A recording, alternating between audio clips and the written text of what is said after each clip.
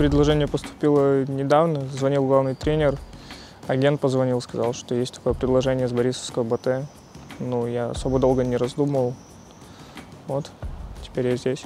Я готов помочь команде на позиции право, лево, крайнего защитника. Об этой позиции мы с тренером разговаривали, так что сошлись на мнении, что будем защитником здесь. В этом году я уже трижды забил, играя за «Динамо Брест», так что теперь я готов забивать в БТ и приносить пользу команде. Ну, с «Динамо Бреста» уже переходило довольно-таки большое количество игроков, значимых для белорусского футбола.